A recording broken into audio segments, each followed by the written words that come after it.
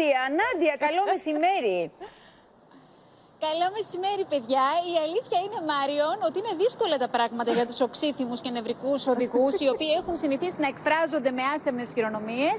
100 ευρώ είναι το πρόστιμο που προβλέπεται για κάθε άσεμνη χειρονομία, όχι απλά την κλασική μούτζα και όλες τις ε, ίδιου είδους τέλος πάντων. Είτε την Συνομιλώντας το επαναλάβεις, πρωί- είτε τη ρίξεις μια φορά.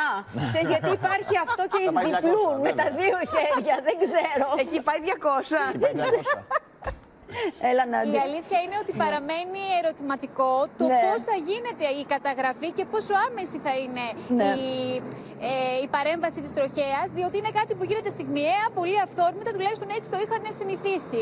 Ε, συνομιλώντας το πρωί με πολλούς οδηγούς εδώ στο κέντρο της Αθήνας, Ναι. θέλω να πω ότι συνάντησα διάφορες απόψεις. Οι γυναίκες ανακουφίστηκαν και χάρηκαν με το νέο μέτρο του ΚΟΚ. Οι άντρες υπήρχαν κάποιοι οι οποίοι μου είπαν ότι εγώ θα συνεχίσω να εκφράζομαι και ας πληρώσω. Ακούσαμε και αυτό. Νομίζω ότι πραγματικά ο κόσμος ε, ακόμα ή δεν το έχει συνηθίσει ή δεν, δεν μπορεί να το διαχειριστεί στην καθημερινή του ψυχολογία μέσα στην οδήγηση. Δεν ξέρω, θα δείξει η πορεία. Νάντια, μένεις εκεί. Βλέπουμε λίγες από τις αντιδράσεις που έχεις καταγράψει εσύ και επανερχόμαστε γιατί θα βάλουμε στην κουβέντα μας και το γνωστό Ιαβέρη, ο οποίος εντάξει ξέρει καλύτερα, εν πάση περιπτώσει, όλη τη συμπεριφορά την οδηγική των Ελλήνων. Για πάμε. Ώστε εσείς μου τζώσατε τον αστιφύλακα. Ε, με μούτζωσε εκείνος, τον μούτζωσα κι εγώ. Δεν σας μούτζωσε, σας έκανε σήμα. Με ανοιχτές τις δαχτυλάρε του. Ε, κι εγώ σήμα του έκανα.